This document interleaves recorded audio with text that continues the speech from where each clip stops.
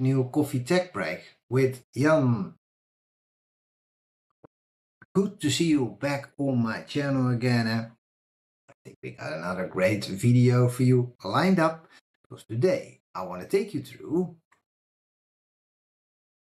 the installation and configuration, the cabling of the Poly G9 Plus. So in the first video, uh, I did an unboxing. So I showed you exactly what is inside the box, uh, the VESA, the cabling, uh, the power supply, etc. In this video, I'm gonna hook it all up. I'm gonna walk you through it step by step. I'm gonna show you some tips and tricks, uh, but it's really easy to set this up. But there are some things which are good to know. Uh, but as I said, we'll walk them through step by step in this video.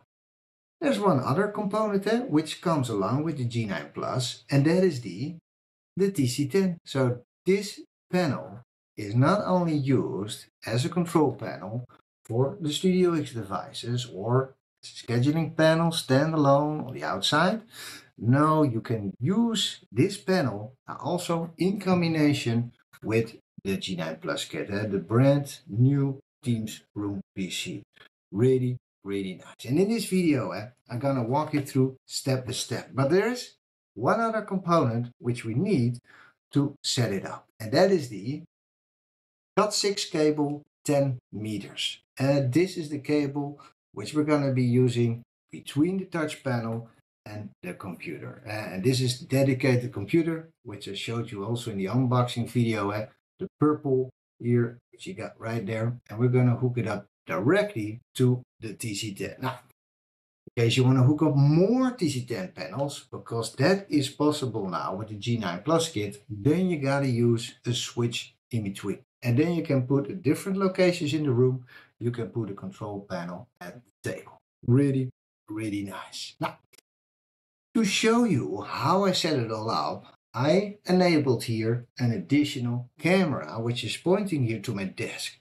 So I can really walk you step by step to the cabling, connecting it up, and also a regular jump into my demo room and to show you how the end user experience looks like. Now, let me enable this camera so you're able to see how that looks like. Here you go. So we have now additional camera enabled. So you got a little bit of a shot of the table where I'm working in. And because when I'm jumping into the demo room, and you still have the visibility here and show you uh, what is uh, visible on, uh, on the touch panel when, uh, when needed. Now, what do we have here? So I got here the compute.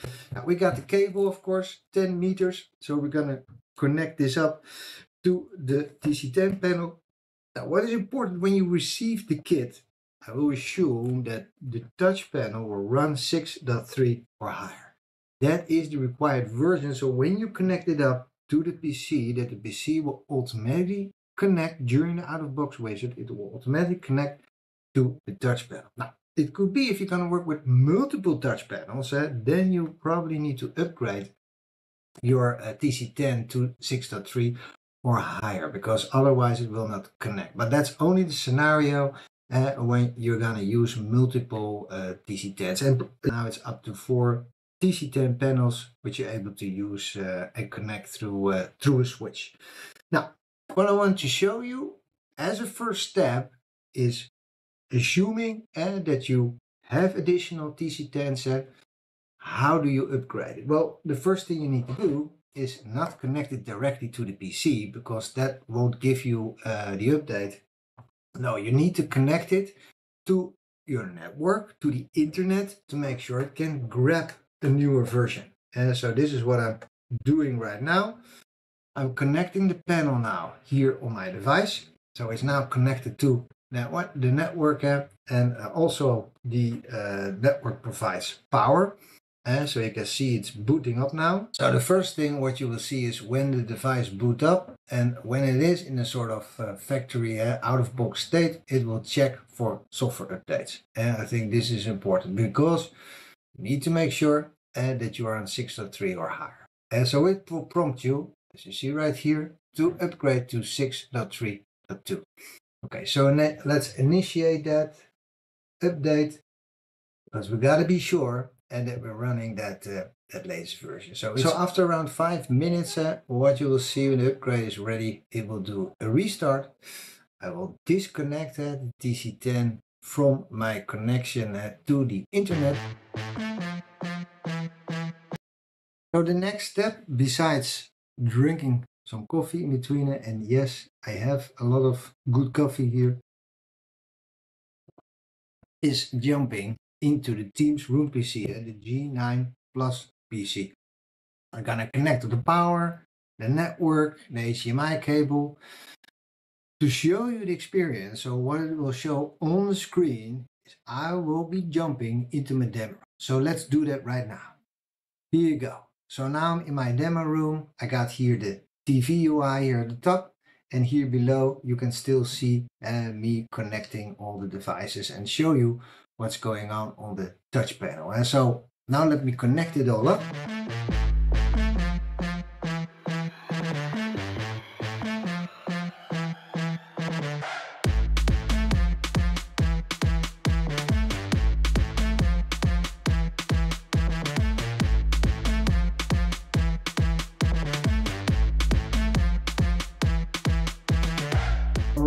Got everything connected now. Let me show you that.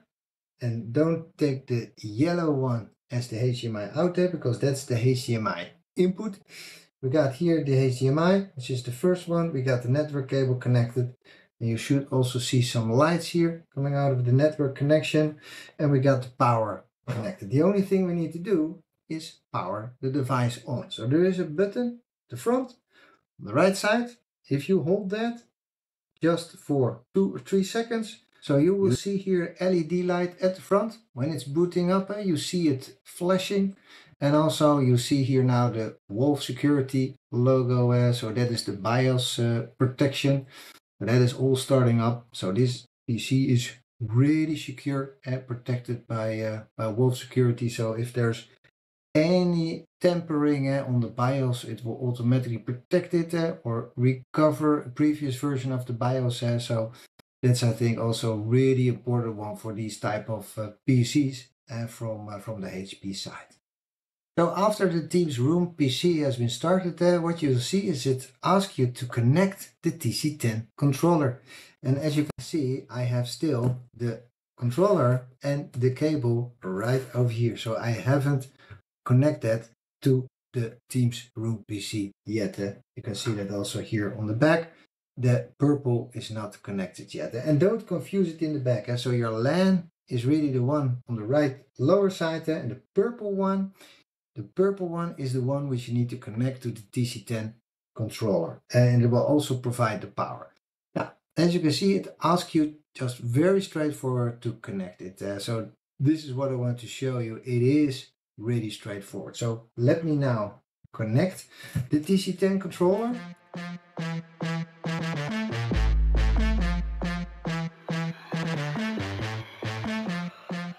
Now there are some straps uh, with the cable and I think these are very nice to reuse and so you can actually just put cables together with those uh, with those straps. Got two of them coming along in the package, really nice. And as I said, yeah, it's it's everything about reusing things. Well, this is one of those things. So now I got the cable ready. So I will be connecting one end here to that special purple port. All right. And the other one, I will put that in the touch panel on the back. Here we go. And now we should see some light popping up. And so this is a really nice one because it yeah it just asks you during the out of box wizard there it just asks you to connect it. And here you go. You see already the Poly logo so it's booting up now. Really nice. Uh, so it should be a really straightforward process uh, to uh, to get started with the PC the TC10 as a controller is just a matter of, eh, as I mentioned earlier, of the version 6.3 or higher. And if you're gonna add multiple panels, you will need a switch instead of the direct cable. You put the switch in between and then you're able to connect uh, multiple of them. So during the out-of-box wizard, uh, it should be able to detect that it's connected to a Windows MTR. There's nothing to pair. It should all be done automatically. So let me try to show you that. Ah, here you go, successfully connected to your Teams Room PC. It's an internal network, as you saw, a 169 address. And immediately what you see that it is connected now. And this should be able to jump us into that uh, out-of-box uh, wizard of the Teams Room device.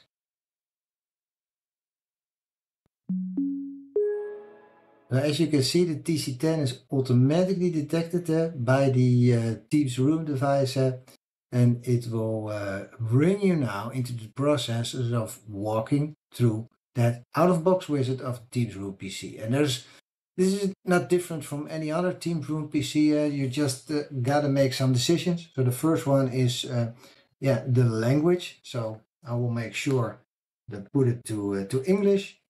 The next step will bring you to any additional keyboard layout. Uh, so in this case, I will choose the United States English. Do you want to add an additional layout? So this is not needed, but you can add an additional keyboard layout. You can skip that one. Then the next one will bring you to uh, getting some updates, checking for updates.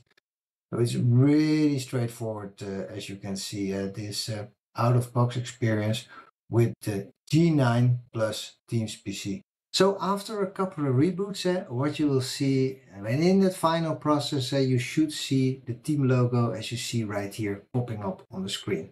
And also on the touch panel, let me show you that experience. Uh, it should show you at the end also the Teams UI to get started. But as long as you see that, yeah, that Teams icon popping up, uh, it should all be going in the right direction. And here you go we have now that final getting started wizard. Uh, we have that now running on the Teams Room PC on the touch panel. So I can click on get started. That will bring me to the acceptance of the EULA and to, uh, to do the login. Click on next. Now you can turn in uh, a verification code. So if you've sent a verification code uh, to this location, they can put this into the device and it will automatically sign into uh, to Teams. Uh, or on the other thing, what you can do is a manual setup. And that means if you do it manually, you can just put in here the Teams uh, room account, uh, the user ID and the, the password. And then you should be able to sign in the device into Microsoft Teams. Now, that process uh, is something which I show, will show you in, uh, in the next video. The only thing is I wanted to give you some tips and tricks. So how can you review the versions that are running on the touch panel on the TC10. Now on the TC10, you have a sort of, on the side, there is a menu. Here, you can call it out. As you see right here, it will bring you to settings. So this will open up as a sort of yeah, menu on the touch panel itself, but also will give you information, as you see right here, on the versions running on the touch panel and on the compute. Now, there's also some other settings, some user-defined uh, settings. Uh, for example, I can change here the uh, yeah to light and to dark mode. So this is the light mode, and I can change the interface also to a dark mode. You see right here. It makes it sometimes a bit easier uh, to uh, yeah to read and to uh, to save some light in the room. So now we got dark mode. Again, we can enter the set settings by going on the side, going to settings. Here you go. And so you can really review all the settings here of the touch panel and uh, find all information. If you need to find some troubleshoot information, serial numbers, etc. I think a really really nice one.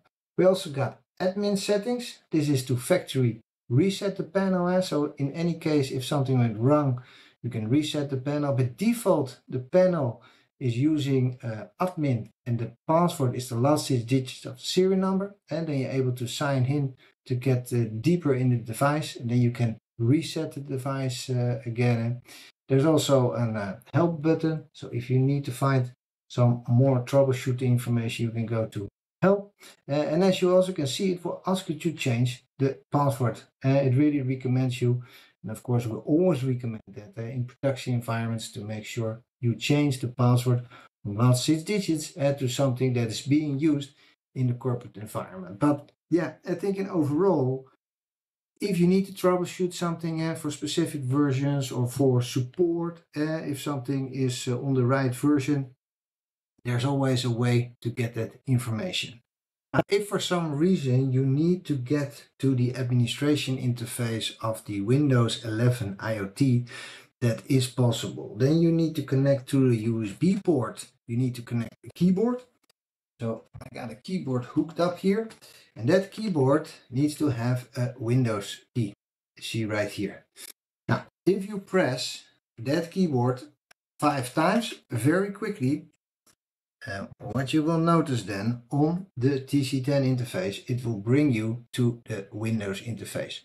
So now you can always break out to the Windows interface to check uh, if you need to update some specific components, if you need to enable the Lens Room app, because we got also Lens Room app, which is pre-installed on, uh, on this device, uh, but to integrate it with Lens, we need of course to uh, to activate that uh, but this is something uh, which I will do in uh, in the next uh, video. And here ends the coffee tech break session for today uh, part 2 the installation of the G9 Plus kit and so in combination with with the TC10 one of the things are very important uh, is to always check the version of the panel, especially when you're going to add additional panels and make sure that they're minimum at 6.3 and then it should be able to detect it by connecting uh, it through the LAN port directly or using a switch. You need to find some troubleshoot information and you can always go and break out to that side menu of the TC10. There you will find a lot of uh, version info uh, need to factory reset you can factory reset it there but uh, yeah in the next video i'm gonna dive deeper into the administration interface of the G9 Plus and I'm going to show you how to sign it into Lens, the possibilities in, in uh, to manage the device. Of course this is just the base kit, eh? TC10 and uh, the Teams Room PC. Of course you're able to add the V32, the V52, the V72, uh, all those USB bars. Even if you got a studio USB or you got an R30, uh, you can reuse all those devices, of course, with this brand new Teams Room PC. Here ends the coffee tech break session for today and hopefully you uh, enjoyed it. it. At least I enjoyed it and also to yeah to take you through that experience because that's always a bit challenges in these type of environments uh, to bring that remotely to you but hopefully you got a good impression of how easy it is to set up the, the G9 uh, Plus PC. If you got any questions or comments uh, just let me know, put them under the video and of course I will make sure that uh, yeah that anything which I'm talking about the installation guides and everything any reference I will make sure I will put them under the video so Thank you for watching uh, and I'm already looking forward to see you back in the next video.